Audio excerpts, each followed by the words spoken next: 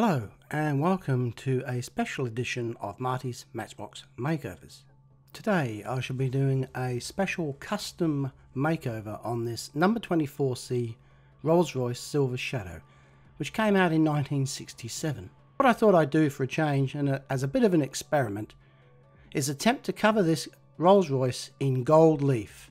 This could possibly be a first in the history of Matchbox models. I don't know. Anyway, I'm going to give it my best shot. So this one, as usual, is a bit shabby. The base is held on with one rivet and a tongue at the front. All tyres are missing. The paint is heavily chipped.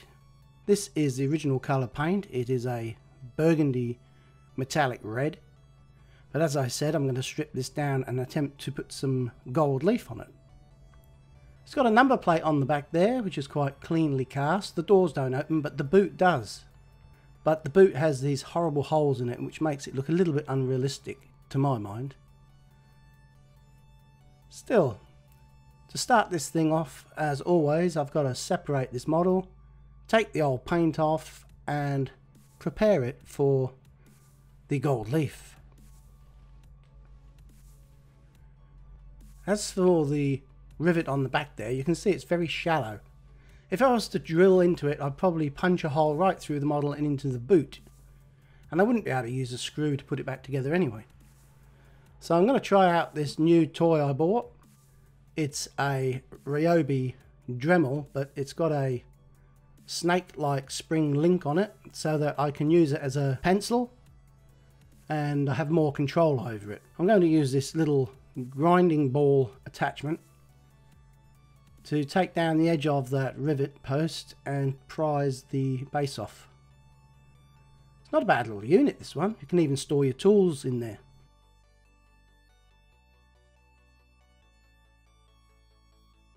So here we go, I've adjusted the speed and I'm loving this tool already because you have so much control over it rather than wielding one of those rather chubby uh, Dremels. I mean, I still use mine from time to time, probably, to do some cut-off jobs. But I'm going to experiment with this from now on. So that's done quite a nice job on that, and no damage to the model. So in theory, if I just lever in here like this, with a small flat-bladed screwdriver, as I suspected, the base comes off quite easily. Uh, didn't distort, didn't damage the model. So that's the first win for today. I'm happy with that. Now this little plastic piece here is a common component in these little cars. It's a suspension strip and as I'm attempting to pull it out I look here and there's a huge cocoon of spiders' eggs nested in there, which makes me always a little bit queasy because these things can lay dormant for ages, I believe, and then all the little baby spiders can come out. Thankfully, that one seems to have either hatched and been vacated, or maybe they died and shriveled up years ago, who knows, but it's still pretty yucky. And now the interior's got some more web on it there, so a whole family of spiders probably living in here at one time. living in luxury in a Rolls Royce. But I've got that suspension strip off and I'm just noting that those two prongs go to the rear. So, because it's, it's not a symmetrical item. Have a look at some of the detail here. It's a bit grotty. Uh, limited detail, some ribbing on the seats. Steering wheel, no instruments. But you can't really see much through those window apertures anyway when the model's together. Interestingly, this centerpiece is a separate casting, which you would have thought would have been a little bit awkward why they didn't just cast it on the front and paint it silver like they usually do. Don't know, maybe this was special because it's a Rolls Royce.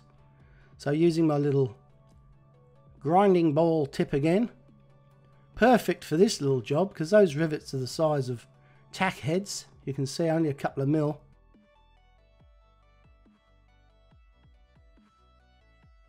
And uh, once again, the old... Um, you can't live without a small flat-bladed screwdriver doing this hobby.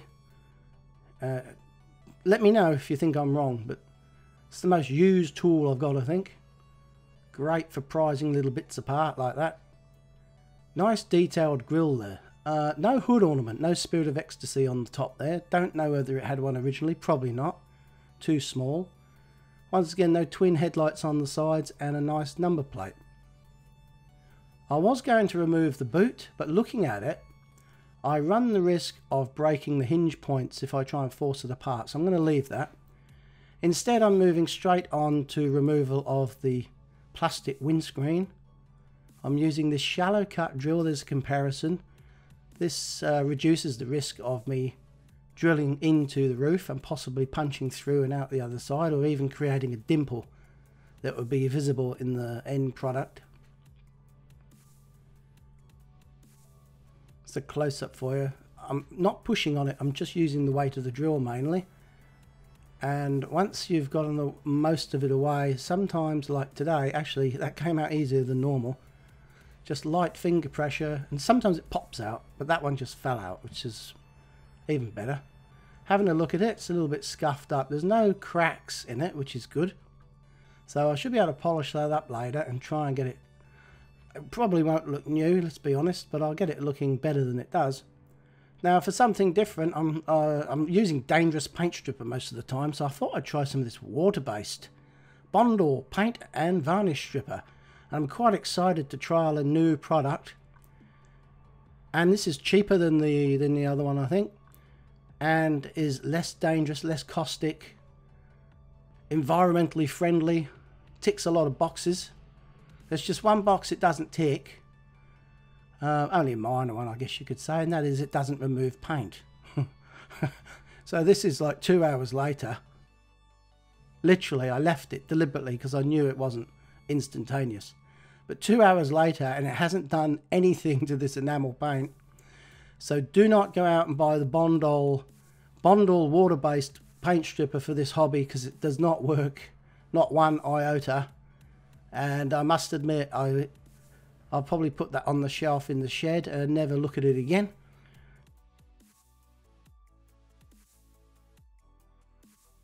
So back to my normal polish stripper paint stripper method which uh, I've used for the last couple of years now. And today for something different I'm going to try applying it with a paintbrush. I normally don't do this because in the past it reacted that quickly that I'd be taking putting the, the paint stripper on the model and then lifting paint off and putting it in the pot as I'm getting more paint stripper and the paint stripper would get contaminated. And it's just being me. I don't like contaminated paint stripper in the tin. And I like it to be fresh and clean when I dig it out. So I shied away from that for a while, but I th thought I'd just give it a go with this to speed things up because uh, I'm already two hours behind and there's a lot to do.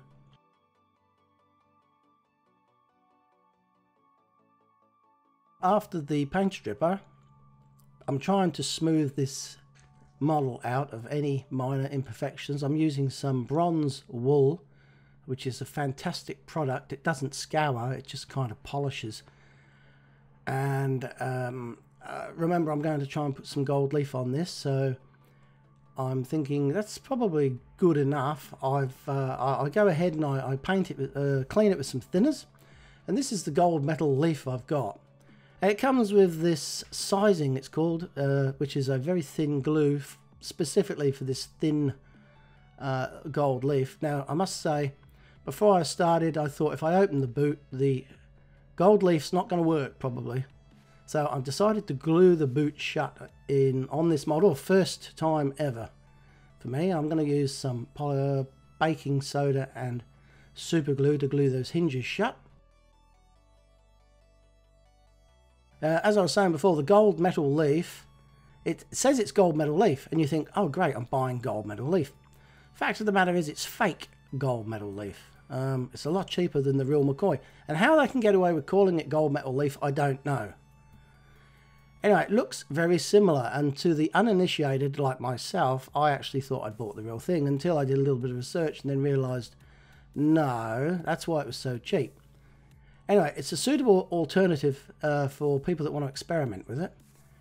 And after I've painted that sizing solution on, remember I said the glue, I tried draping a sheet of the gold leaf over. I watched a couple of videos on YouTube on how to use this product.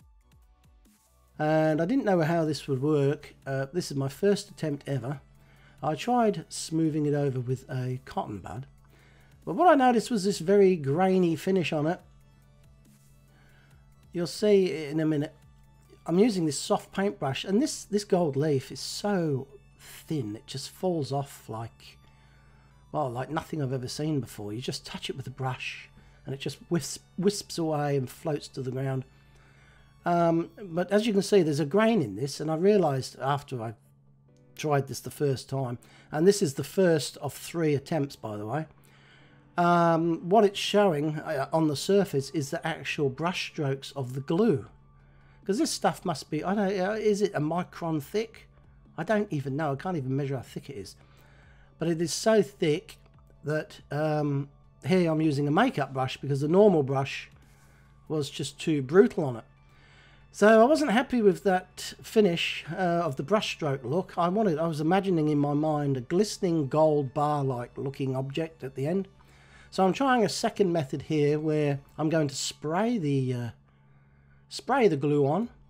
I'm going to put an undercoat on of oxide red because I read somewhere that that can make um, the gold look brighter. How that works, I've got no idea, but I thought I'd give it a shot. Again, an experimental model here. I'm learning something new. Hopefully you're watching it and enjoying it and seeing something that's never been shown before. So, like I said, I'm going to try and spray this glue on this time around, so there's no brush strokes whatsoever. Hopefully the finished model will uh, have my what I desire, a nice solid gold look, like it's like it's been cast in gold, I guess you could say. That's where I'm trying to go. Uh, initially I was really excited, but I'm starting to get a little bit disheartened now because it's not going as smoothly as I thought. And it's like anything, I suppose, you get better as you go. So this will be the second time. I've applied it a little bit thick there on the roof and bonnet. You have to wait until it turns from white to clear and then it's just the right tackiness to apply the gold leaf. So I've got to set this aside now for 15 or 20 minutes until that milkiness on the roof there disappears. Now I'm putting on a mask. It's not because I'm scared of catching the virus, because thankfully we're in a, a virus-free zone at the moment, relatively. Uh, I'm putting it on because otherwise, as I'm breathing, these pre-cut pieces of uh, foil that I'm using this time around. I've cut them to for the panels, individual panels. And before I was getting to them, I was breathing on them and they were shooting off across the table and screwing up into a little crumbly ball that was floating around like an asteroid in space. And I was chucking them in the bin and I'm thinking, I didn't buy this stuff to chuck it in the bin. But if you don't use it straight off that uh, greaseproof paper backing or backing paper, whatever it is, you can't handle it. It just you can't handle the truth. No, you can't handle the gold leaf because it just falls around, falls apart, blows away, crumbles up, and you waste more than you actually use. Now, this is the second attempt, and I, uh, well, at a distance there, I thought, wow, this looks spectacular. Then I zoomed in with the camera, and you can still see every single miniature minor, titchy witchy, minuscule imperfection in the model and it's mimicked by that very, very thin gold leaf overlay.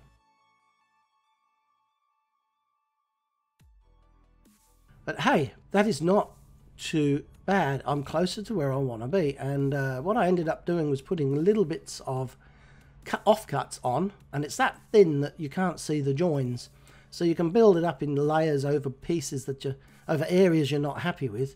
You can build it up gradually one leaf at a time, a little bit at a time, smooth it over with the brush.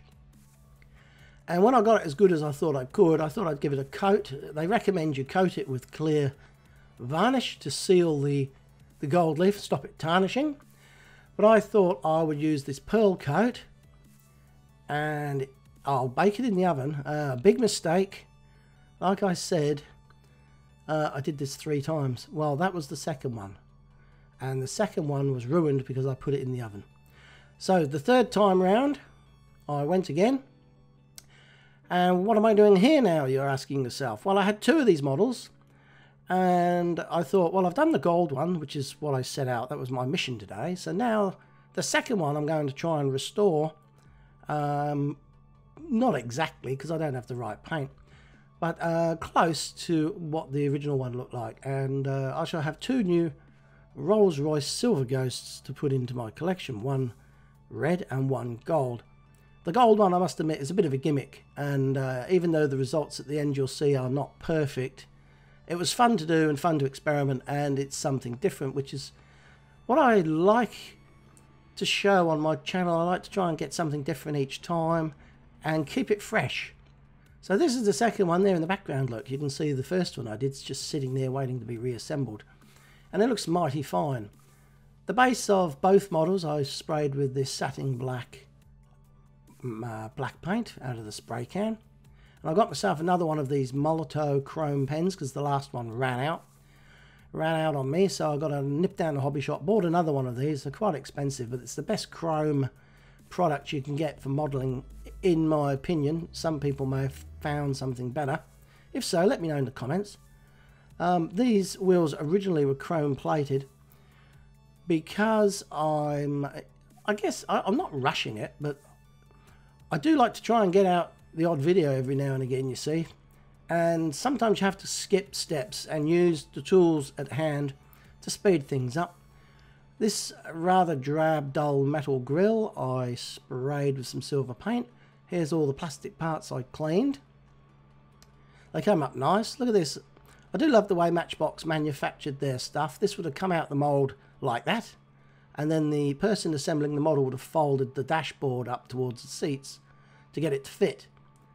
Uh, interesting little quirky things like that um, I, I, find I find good to, to talk about and to show. So once again, uh, this is an old favourite of mine, the Autosol metal polish. So I'm back on that again for this project. A few of the recent ones I've done haven't had windscreen and I was be beginning to lose the skill of polishing up plastics so it's a refreshing change for me to have one again with a with a windscreen in it. Like I said at the beginning, very awkward to get these looking mint.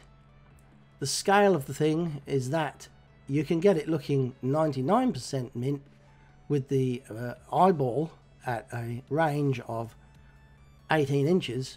It's only when you zoom in with the camera you can see the tiny little imperfections and you know, it doesn't look as good as it does in real life.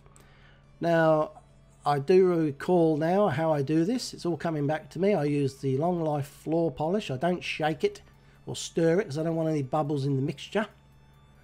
I knock off any excess after I've immersed the plastic in it and I place it in a little onion uh, keeper on a piece of tissue paper.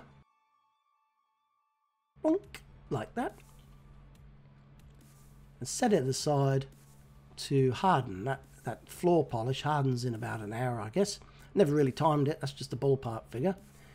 And um, yeah, it uh, makes the transparencies, uh, gives them a little bit of bling. This uh, suspension piece was curved like a banana, but it was in the, the opposite way. It was bent up, like it had had the weight of the model sitting on it in the sunshine somewhere on some child's bedroom window. So I thought I'd heat it up with some boiling water and bend it the other way. And uh, mistake, this stuff warms up really quick. But when you take it out of the boiling water, it, it also cools down really quick. And as I tried to bend it, it snapped and I was really, really, really annoyed. So I'm using the second one I had. I'm not making the same mistake twice. I'm going to quickly prefab one of these from a sheet of styrene cut it out with my um, X-Acto knife, drill a hole in the middle, and no one will see it. It'll be under, on the underside of the model, hidden inside. Um, um, I want to get this done and dusted out of the way, video uploaded, and move on to my next one because um, this one's not really what I do. You know, I, am sort of, I don't know, it seemed to take twice, I know there's two models, but it seemed to take twice as long regardless. So if it's two models, it would have taken four, uh, four times as long. And uh, I'm just kind of getting over it because each day comes and I think, oh, I'm nowhere near getting this video finished. As you may remember from the beginning, this model had no tyres on it. Luckily I got this box of tyres and it's full of tyres that have been generously donated from various uh, viewers from around the world. And I just happen to have a big bag full of the right size tyres, so that's a great fix it and it's handy to have those on standby when you need them. They spin pretty freely and look good on those chromed hubs.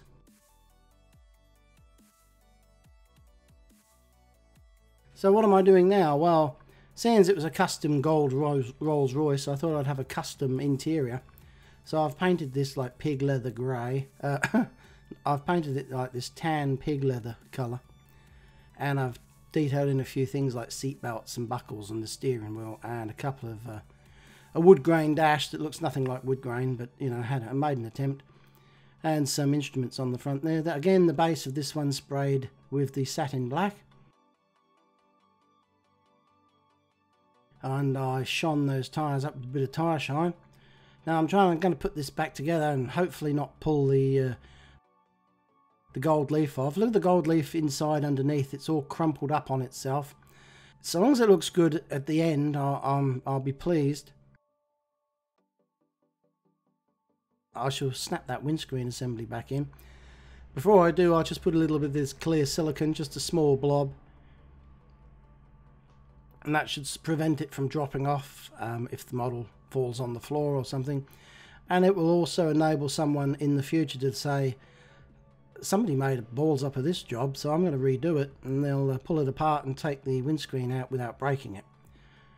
Uh, which I can imagine someone might do, because I must admit, it's just a novelty item that uh, I can say, look at that, check that out, it's gold plated, but it's not really, but it looks good.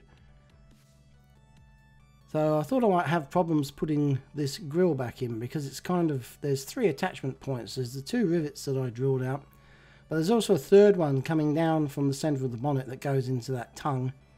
And it was a little bit of a Chinese puzzle type scenario where you have to put one thing in on an angle, twist it and put the other two things in.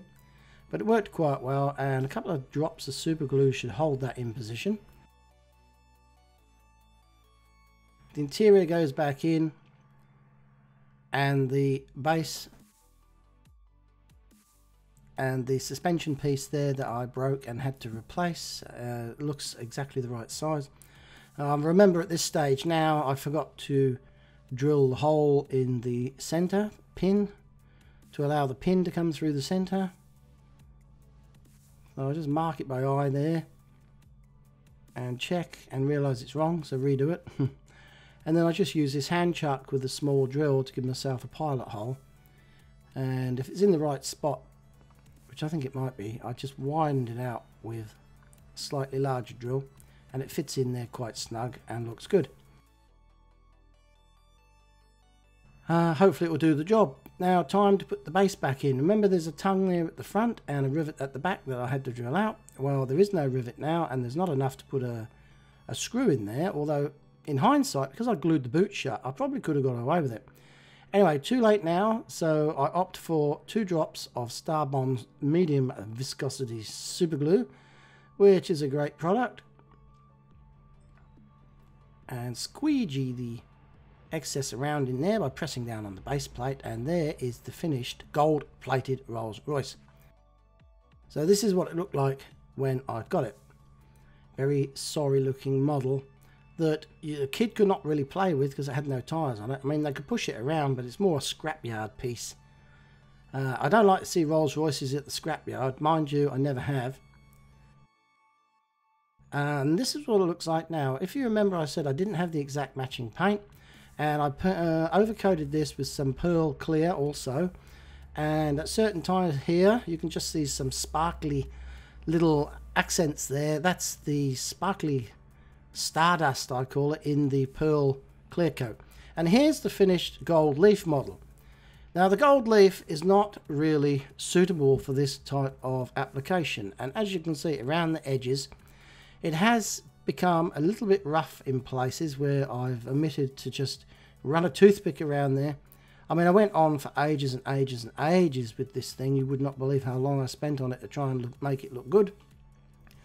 And this is as good as I got it. Now, if anyone can better it, please, I challenge anyone out there, please do another one. And uh, I'm going to do another one, I think, but I'm going to try real gold leaf. When I can save up enough pennies and I find a source, I will buy some real gold leaf and go again, and hopefully the uh, the finished thing will look even better than this one.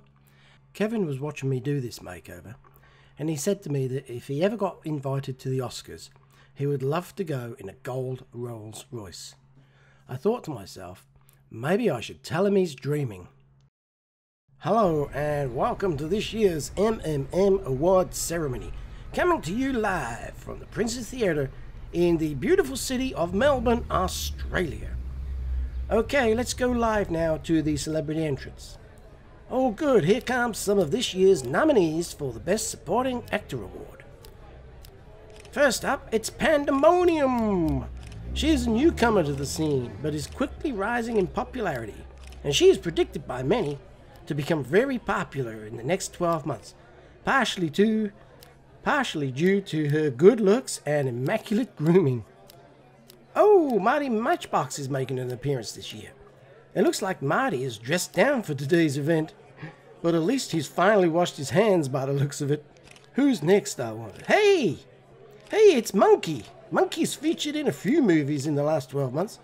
He sure is a snappy dresser. He has many fans, and there are some rumors that he's into the swinging scene. Go figure. Out the front now, someone's turning up in a gold Rolls Royce. It looks like uh, it is. It, it, it's Kevin the Koala. This year, Kevin is considered by many to be the most likely to win the Supporting Actor Award. He's featured in many movies this year. Let's have a quick look at his most controversial spa scene, which shook Hollywood at the time. Is he is he doing some spray painting or something? What? What is this? Kevin!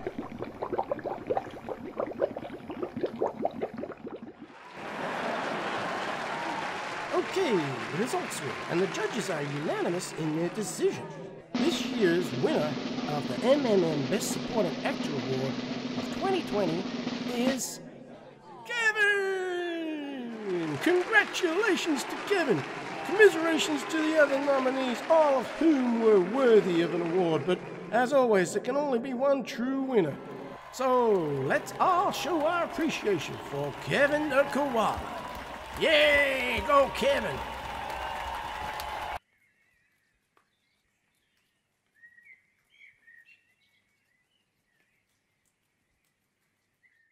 So until next time, this is Marty saying please like and subscribe, and I will see you next time. Goodbye.